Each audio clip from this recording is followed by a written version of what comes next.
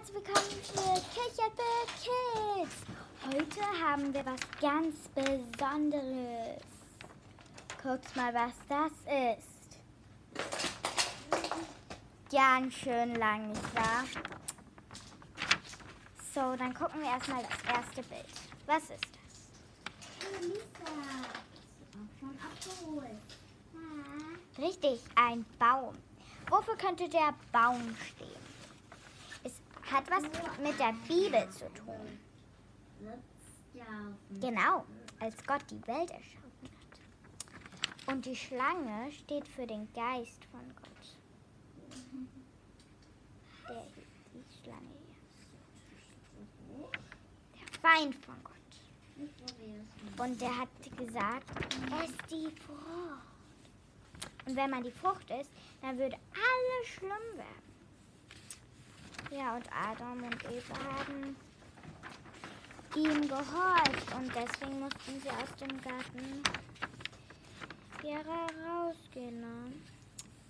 Und dann, die Menschen waren sehr böse, haben nicht nach Gottes Regeln gefolgt.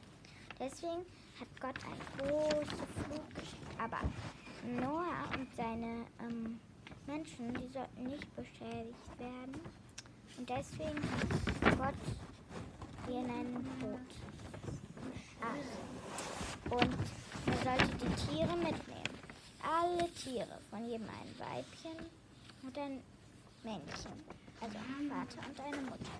Dann brach das Gewitter los. Es regnet. Gott hat gesagt, ich werde nie mehr so eine große Flut schicken. Das, das, dafür das Zeichen hatte ihn der Regen. So, das zweite. Der ähm, Turm steht für, weil die Menschen wollten so hoch wie Gott sein. Das konnten sie nicht. Sie haben es probiert, deswegen haben sie einen Turm genommen. Dann haben sie angefangen zu bauen. Aber unglaublich. Gott hat gemacht, dass sie unterschiedliche Sprachen sprechen. Und dann konnten sie es nicht mehr verstehen und sie mussten den Turm abbauen und dann ist er immer mehr zerfallen. Und dann, hier, das haben wir schon gelesen, wo könnte das Baby stehen? Nicht für Jesus, sondern ähm, in der Bibel. Guck mal. Die, die, das, die, ähm, äh, hier ist es. Sie hießen. Hm, Hier ist die Seite. Sarah und Abraham. Die schon ganz alt, ne? Und dann haben sie. Und Jesus sollte den Opfer, ne? Tod steht hier. Aber Gott sagte, eine Menge sind heilt. Ne? Wurde er doch nicht betötet. So. Ja. Ne, Lagerfeuer. Es gab mal einen ähm, Mann, der ist wohl. Und der hatte zwölf Söhne.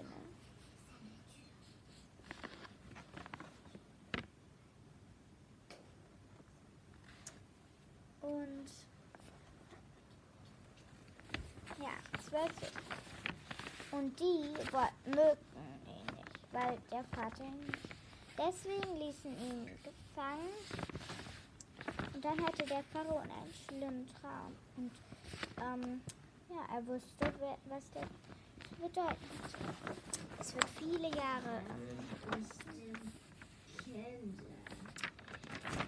ähm, viele Jahre mit ganz viel Essen und viele Jahre ganz ohne Essen. Und dann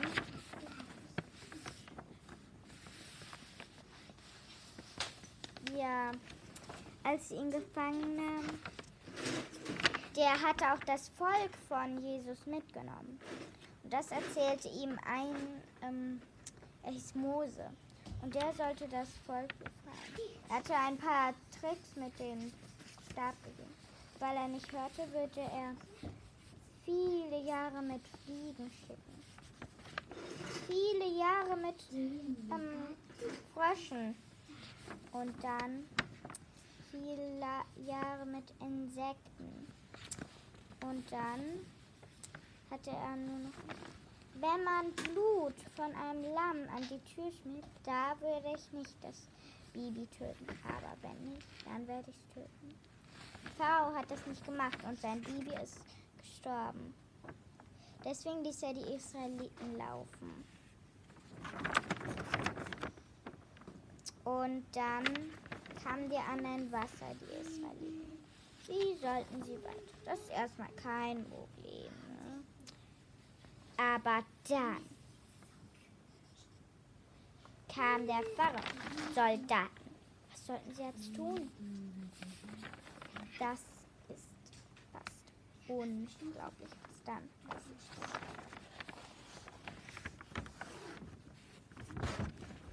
Seht ihr dieses Bild? Das Meer teilte sich. Sie konnten da durchlaufen.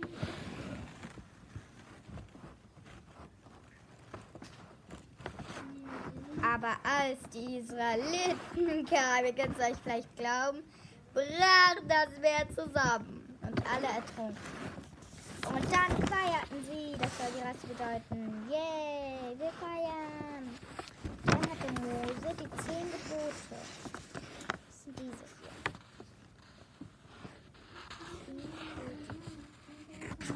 Was man tun soll. Ja, die zehn Geboten kommt. Hier gab es mal eine Burg voll mit Kriegern. Aber als die sangen und tanzen und lachten und schrien und pusten, fiel die Burg zusammen. Krass, ne? Dann einmal mussten sie ähm, einen neuen König holen, weil der neu ist. Da gab es einen ganz großen, so einen mittelgroßen, ne, ganz viele. Und wisst ihr, wen der ausgesucht hat? Was, wer würdet ihr denn? Den ganz kleinen oder den ganz großen? Den ganz großen. So, ich glaube, da täuscht ihr euch. Er hat wirklich den kleinen David ausgesucht. Den kleinsten. Der wurde dann König. Eines Tages kam ein Riese. Aber. Aber David nahm seine Steinschleuder, Steine und dann. Der Riese laut hinaus. Ha, ha. Du willst gegen mich antreten? Das wird nicht so schwer sein. Und dann hat er einen Stein in seine Steinschleuder gelegt und der Riese tot. David hat ihm nämlich mitten in die Stirn gehauen. Wenn er schon auf die Stirn haut, das tut schon weh. Stein und er fiel tot um. Dann, David kam auch in eine Löwengrube, weil er nicht den König, sondern Gott. Dann ah, hatte die Löwengrube, ähm, er war immer noch da, weil Gott auf ihn aufgepasst hatte. Die Löwen schliefen, guck hier. Da schlafen sie. So, kommt jetzt schon die Weihnachtsgeschichte? Nein, erst nur. Ja, eines Tages, da hat Gott ihn auf einem Schiff. Sollte den Menschen sagen, dass sie sehr böse waren. Aber er rannte weg und ging in eine andere Stadt. Doch dann kam ein großer Sturm. Dann schmissen ihn die Seeleute ins Meer, weil er wusste, dass der Sturm mit ihm zu tun hatte. Ja, und dann wurde er von einem großen Wal oder Fisch gefressen. Nicht gefressen, einfach nur auf. Und dann war er so ein paar Tage im Walbauch und, und dann hat er Fisch wieder ausgespuckt. Und dann ging er nach Minenwesen.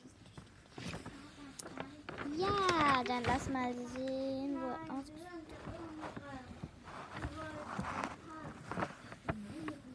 Ja, und dann wurde Jesus hier geboren, ne?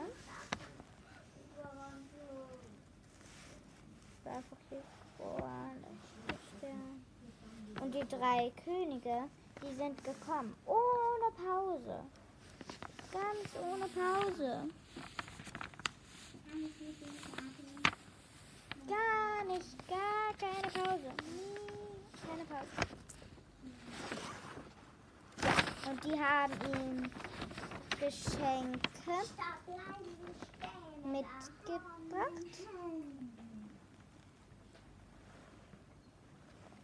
Und dann kommt auch wieder noch eine andere Geschichte.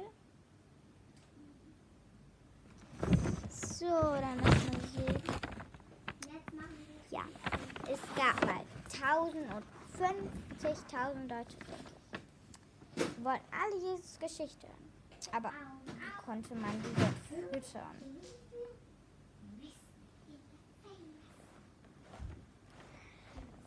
Ein Mann hatte zwei Fische und fünf Boote. Reicht das?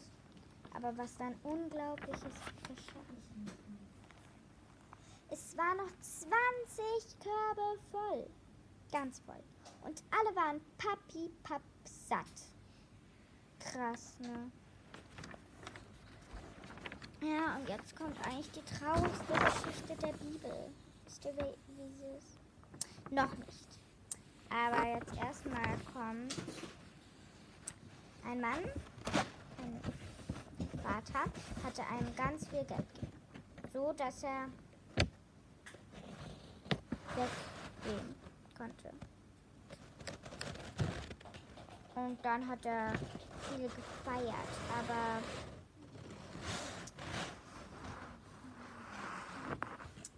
ganz viel gefeiert hat er. Ne?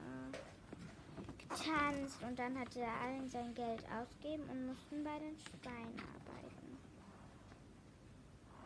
Und dann da gibt es noch Zachäus, der hatte von der Menschenmenge, konnte nicht sehen, aber er hatte gehört, dass Jesus in die Welt kam und da wollte ihn sehen und hatte auf den Baum gestiegen und dann hat er Jesus gesagt, komm, ich will zu dein Gast sein. Ich muss euch noch was sagen. Der kleine Mann hier war Steuer. Es hieß, also, wenn er, er nahm Geld ab und wenn er sein Geld nicht geben wollte, holte er die Soldaten und die warfen ihn ins Gefängnis.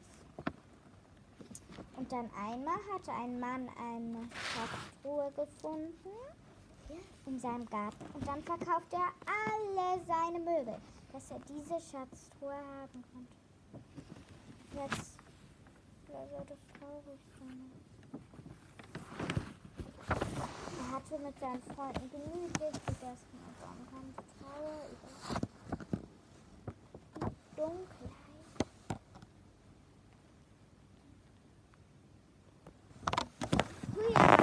Ganz hell.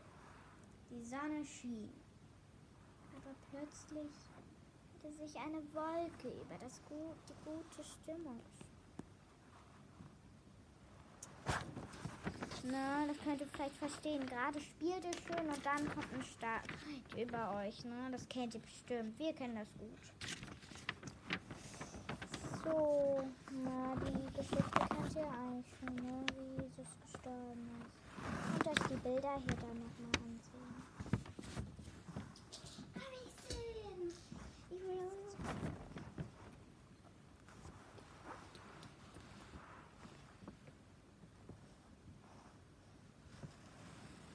Gut. Dann ist es auch heute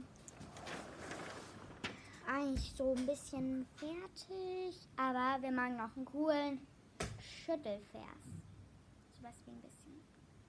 Schüttel, schüttel Gott, schüttel, schüttel Gott, schüttel, schüttel Gott, schüttel, schüttel Gott. Okay. Schüttel, schüttel Jesus, schüttel, schüttel Jesus, schüttel, schüttel Jesus. Also dann. Tschüss und bleibt auf den Laufenden.